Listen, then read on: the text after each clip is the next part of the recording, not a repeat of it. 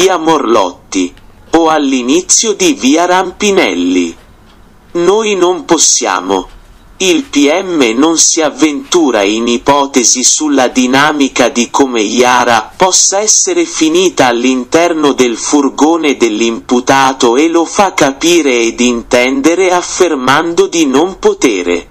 Noi non possiamo. Tuttavia, la sua convinzione che i due si conoscessero, una convinzione mai palesata ufficialmente, trova fondamenta in due testimonianze da lei stessa fortemente volute. Quella di Alma Azzolin e quella di Rota Luca. Prima udienza 3 luglio 2015. Il PM chiede ed ottiene che Alma Azzolin venga citata come teste. La citazione come teste di Alma Azzolin la cui testimonianza avvalorerebbe l'ipotesi che Massimo Giuseppe Bossetti e Iara Gambirasio si conoscessero. Suscita la contrarietà sia degli avvocati della parte civile Andrea Pezzota ed Enrico Pelillo, che degli avvocati difensori dell'imputato. Claudio Salvagni e Paolo Camporini che hanno sempre sostenuto che Bossetti e Diara non si conoscessero.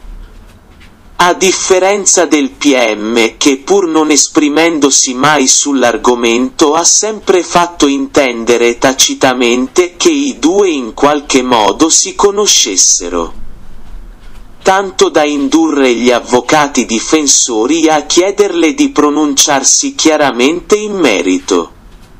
La testimonianza di Alma Azzolini insinuerebbe il dubbio che i due si conoscessero. L'avvocato Andrea Pezzotta, parte civile per conto della famiglia Gambirasio, sottolinea che Yara era una brava ragazza. La conoscenza con l'imputato è da escludere totalmente. Tesi sostenuta ed approvata anche dalla difesa. Massimo Bossetti, dopo il suo matrimonio avvenuto nel 1999, trasferisce la sua residenza dal comune di Brembate di Sopra. Prima a Terno d'Isola e qualche anno dopo nel comune di Mapello. Continua, però, comunque a frequentare Brembate di sopra per recarsi, talvolta, raramente, all'Eurospin. Un piccolo supermercato dove si recava anche Yara, in compagnia della madre e della zia. Rota Luca, titolare supermercato Eurospin di Brembate sopra. Lavora nel negozio da 22-23 anni. È presente quasi tutti i giorni.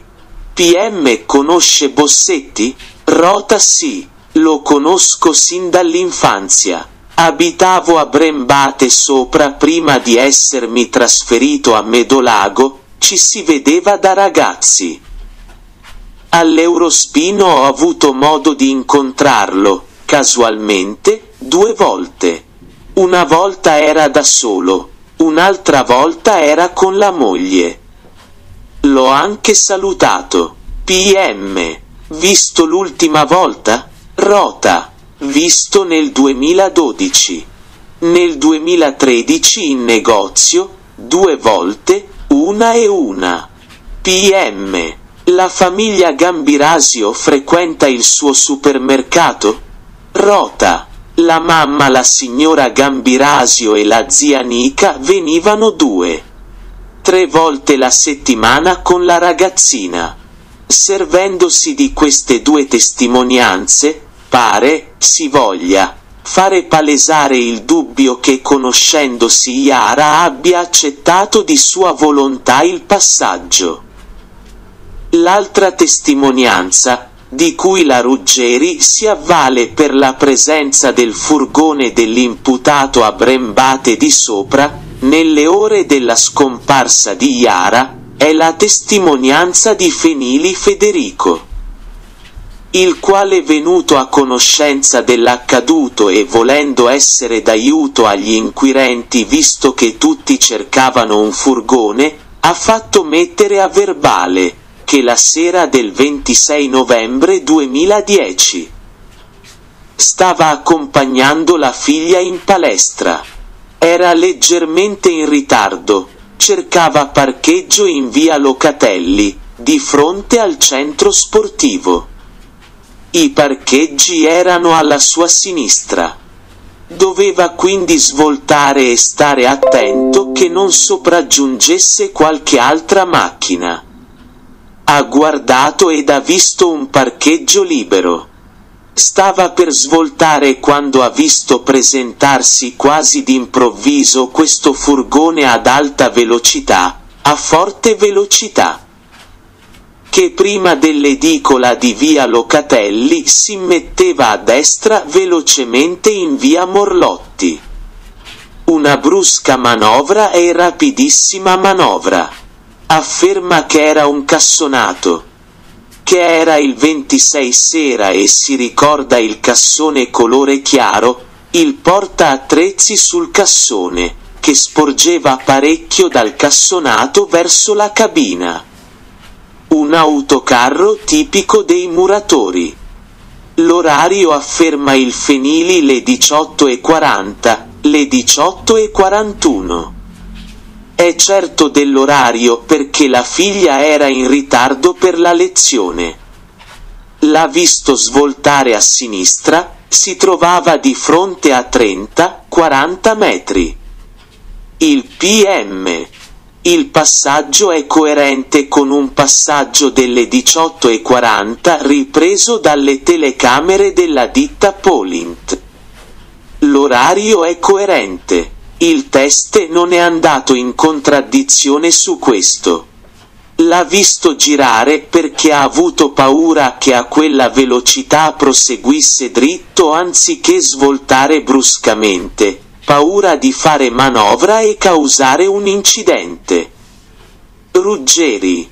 Cosa si può concludere che l'autocarro è ripreso dalla ditta Polint alle 18.35, dalla Shell alle 18.37, alle 18.40 in via Morlotti, 18.44 dalla Shell. Tra le 18.40 e le 18.42 Iara sia svoltata in via Morlotti e lì. O all'inizio di via Rampinelli. E un discorso logico, questi passaggi sono coerenti con loro. Cosa può essere successo? Il Bossetti si trovava in una zona compatibile con il passaggio della bambina che tornava a casa. Con questa ipotesi non si vuole fornire un percorso preciso che noi non possiamo. Contrariamente alla PM, sia l'avvocato di parte civile Andrea Pezzotta che il PM Marco Martani avanzano ipotesi di come Iara possa essere finita nel furgone di Bossetti. Andrea Pezzotta. Parte civile Maura Panarese. Si hanno dati certi, la povera Iara Gambirasio esce piena di vita dalla palestra alle 18.40 per essere poi ritrovata priva di vita in quel campo. Sappiamo che l'imputato era lì, sappiamo della sua predilezione per le bambine, che lascia la sua traccia, la sua firma indelebile. Sappiamo che la sera non era a casa, lo dice sua moglie. Dove sei stato quella sera? Tu non mi hai mai risposto sappiamo cose più che sufficienti per accertare la colpevolezza. Possiamo soltanto ipotizzare. Non sono d'accordo con il pubblico ministero che nessuno può sapere quello che è accaduto dopo la scomparsa. Si può tentare, si può sapere. L'imputato sa perfettamente cosa è accaduto quella sera. L'imputato conosceva il padre di Yara che abitava nello stesso paese. Con l'inganno, o con la forza. Con qualche scusa ha convinto Yara a salire sul furgone, l'ha portata nel campo a Chignolo, in quel campo dove la bambina ha cercato invano di scappare, non c'è riuscita. L'imputato perde la testa ed effettua una operazione di macelleria. Suo scopo arrecare dolore, effettuare lesioni finalizzate esclusivamente solo a fare del male. Apportare sevizie che conferiscono all'accaduto ulteriore atrocità ad una vicenda già atroce di per sé. Marco Martani. E quella sera Bossetti stava circolando con il suo autocarro intorno alla palestra. Bossetti ha incontrato Iara in via Morlotti. Era una sera piuttosto fredda. Iara si era allontanata dalla palestra adducendo di essere in ritardo. Bossetti si è fermato ed ha offerto a Iara un passaggio. Certe volte gli adolescenti tralasciano di seguire i consigli degli adulti.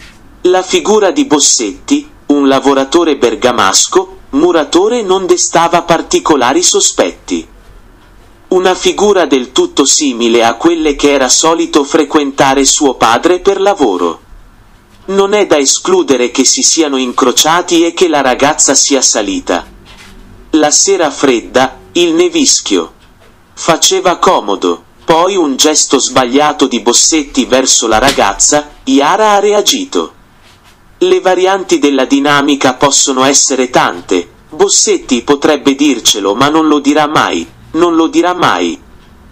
Di parere nettamente opposto il consulente della difesa Ezio Denti che mette in dubbio quanto dichiarato dal teste Fenili il quale avrebbe dichiarato che la sera del 26 novembre 2010 avrebbe visto un furgone svoltare in via Morlotti a tutta velocità verso le ore 18.40. Due dossi dissuasori contro la velocità posti uno vicino all'altro ubicati in prossimità dell'incrocio tra via Locatelli e via Morlotti, non consentono, a suo avviso, di affrontare la manovra a velocità elevata e poi simula servendosi di una macchina e percorrendo la via Locatelli quello che il teste Fenili avrebbe potuto vedere ben poco secondo Denti che sposterebbe anche l'orario del passaggio di un furgone dalle 18.40, 18.41 come dichiarato dal teste alle 18 ore 43 minuti e 22 secondi. Sia per l'avvocato Paolo Camporini come per Marita Comi a quell'ora massimo non era lì in via Morlotti, o all'inizio di via Rampinelli, ma già a casa sua. Camporini il DNA è un fatto secondario. Non ci sono altri elementi. Neanche uno. Non ne abbiamo neanche uno. Anche nella migliore delle ipotesi l'accusa potrebbe sostenere solo che sia avvenuto un contatto con la vittima, ma non può sostenere la sua uccisione. Incerti poi gli orari dei passaggi del furgone. Il passaggio delle ore 18 e 49 non è compatibile. Alle 18.44 Bossetti era già a casa sua. Marita Comi. La sera della scomparsa di Yara, il 26 novembre 2010. Io ho sempre detto. Non mi ricordo l'ora precisa perché non me lo ricordo. Non posso dire se le sei però sicuramente Massi era a casa per cena. Sette e mezza, otto ma proprio al massimo. Perché non c'è stata una sera che non abbiamo cenato insieme?